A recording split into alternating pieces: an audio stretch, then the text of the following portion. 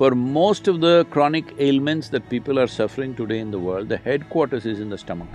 Impurities gather over a period of time and you become dense both in body and head It determines the way you think, feel, understand and experience life.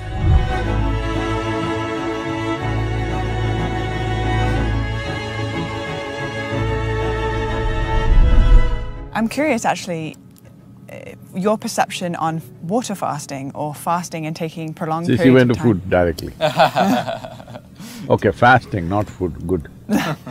It's the opposite of food. it's time away from food and the benefits, if you believe there are any benefits from allowing ourselves to take a reset and to renegotiate our relationship with food. See, uh,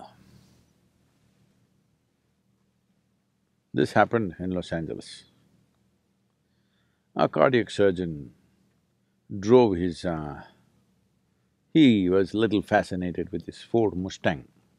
That was his car and he was little excited about it and uh, one day it started coughing a little bit.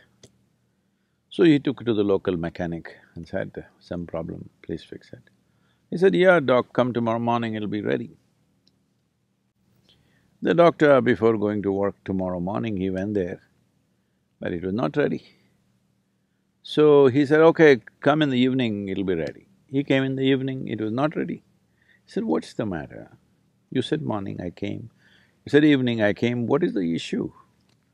And the mechanic was in that kind of mood, he said, see, you're a heart surgeon, you also fix engines, I also fix engines. How come you're paid ten times more than me? So the doctor looked, him, looked at him and said, try to fix the engine when it's running, let me see. So human life and human body needs to be fixed when it's running, otherwise it's meaningless. All right, you're going to postmortem What's the point of that? We need to fix this body when it's running. If you want to fix this body when it's running, you must understand, because we're talking about something related to digestive process, these are the stages of this ingestion, putting something inside, digestion, assimilation, excretion. These are four dimensions of food and the whole process. Ingestion, digestion, assimilation, excretion. Ingestion is happening in today's world just about any time, wherever they are, sitting, standing, any time of the day or night, people just eat because there's so much food. It was not like this ever in the history of humanity. But unfortunately, fortunately there is a lot of food, unfortunately, people don't know when to eat, when not to eat. As there are cycles in time, see we know time only by cycles. If the planet spins one like this, one spin, we say it's a day. Otherwise you wouldn't know. If the moon goes around, we say one month. If we go around the sun, then we say one year. So our idea of time is essentially cycles. Our birth and death is also question of cycles. Only because our mother's bodies were in sync with the cycles of the moon, we are even born, otherwise we wouldn't be born. So our whole physical existence is cyclical. The entire spiritual process, we could go into that if you wish, essentially is significant because it's not cyclical. Because cyclical means you're going in circles. If I say you're going in circles, what does it imply? You're in a loop. You're not getting anywhere. Yeah. Usually if I leave you in desert where here there are some mountains, if there are no features, it's just sand, then people end up going in circles. That means you're not getting anywhere, that means you're lost. So the moment you are completely identified with your body and your psychological structure, you will start going in cycles. So in India, it's… in the yogic uh, culture, it's very, very clear, this is called as samsara, that means cyclical life. So cyclical life, as good a merry-go-round it may be, you know, if you arrange it well, it's a good merry-go-round, but you're not getting anywhere. Children can enjoy a merry-go-round. If all the adults are sitting in the merry-go-round and going round and round thinking they're traveling, oh, very tragic, isn't it? So that's what happens. So the body is a cycle.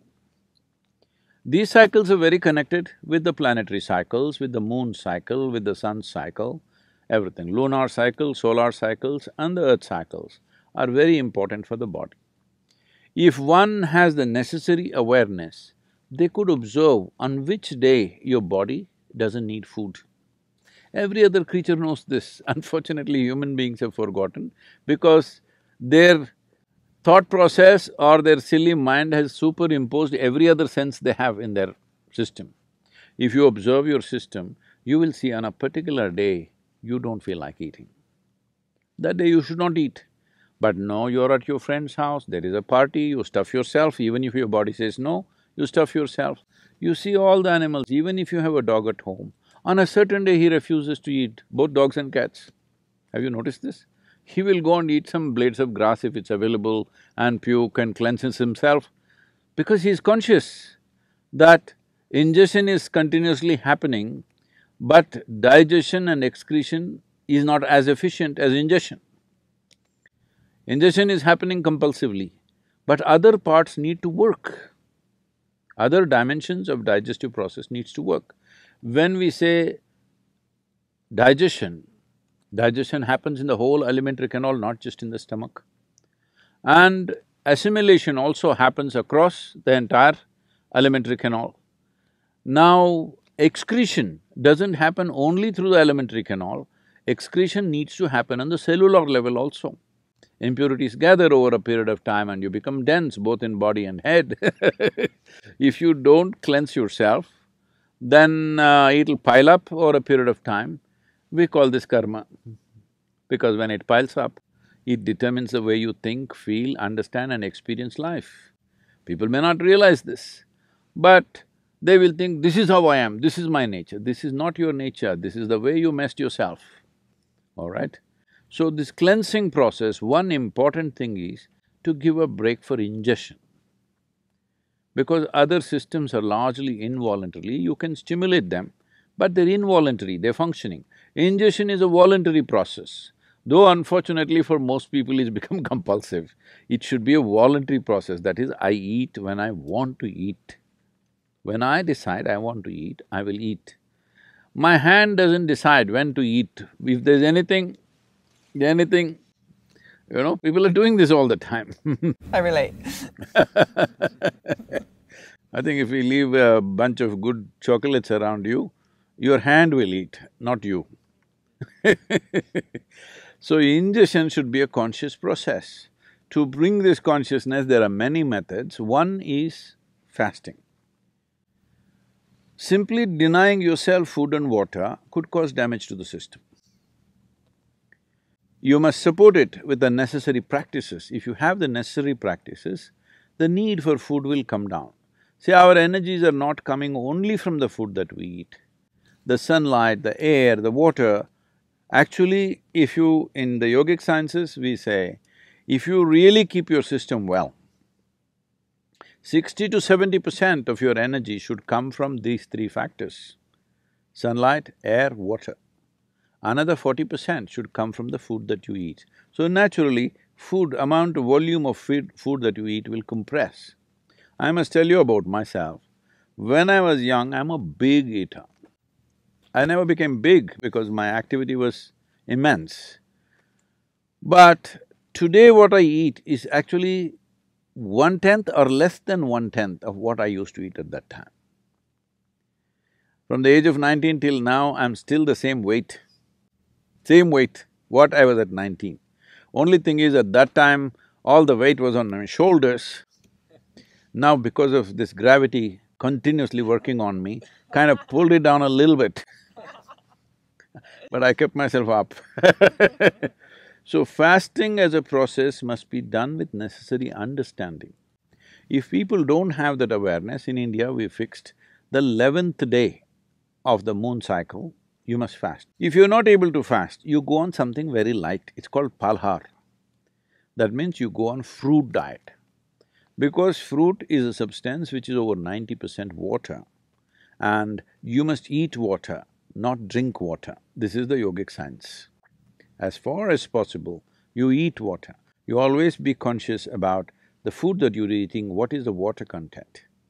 Like a South Indian meal if you eat, a cooked meal I'm talking about, if you eat, very easily 60 percent water. In fact, more. In some of the foods, it's much more. But now the food that you're eating here, you're eating bread, which was baked a month ago probably. Is that minimum? Even in so-called uh, organic shops, it's at least a month or at least a week. Nobody is going and getting fresh bread and come, and anyway, the way the bread is baked, it doesn't have water in it, very, very little water. So of course you're uh, compensating that with uh, a bucket of Coca-Cola or something like that. right? Yeah. I said a bucket, A not bucket a is actually a good amount of Coca-Cola. Where is this big? Yeah. But that doesn't work like that. You, if you drink any liquid along with your food, the acids that are necessary for digestive process will get diluted, your whole digestive process gets inefficient. Because food when it goes in, if it contains water, it's assists. But if you put any liquid on top of it, you will see the food will remain in the stomach bag for too long. We are very concerned about this always in the yogic uh, culture and life, that we don't want food to remain in our stomach bag for more than two and a half hours maximum. In two and a half hours' time, it doesn't matter what I've eaten, how much I've eaten, it must go into other parts. If it remains there, it makes you dull. It makes you lose your sense of perception. Your the level of perception, the keenness of perception is lost, which you notice if you eat food without coke or coffee or tea or anything, you feel dull. It kind of pulls you down. Whole lot of people have developed a culture around it, after lunch they have to sleep. It's like you went to the gas station, you fueled up, then you can't start the engine because there is gas in the tank. So that, that's what it means. So, to ensure that digestive system is in full process, because for most of the chronic ailments that people are suffering today in the world, the headquarters is in the stomach. Yes. For a lot of people, it's shifting to their head, but largely headquarters is in the stomach, the way… what they eat and the way they eat. So in this way they eat, one simple thing to bring discipline is maybe one or two days in a month, you go on much lighter foods which are very simple and easy on the body. If you can just thrive on water or just a little bit of lemon and water or little late, lightly honey-laced water, it will help, but if it's not possible for you, maybe a fruit or something, which… which is very, very light on the system. The idea is to give digestive process and assimilation process a break so that rest of the body begins to excrete on the cellular level, it must throw out all the impurities.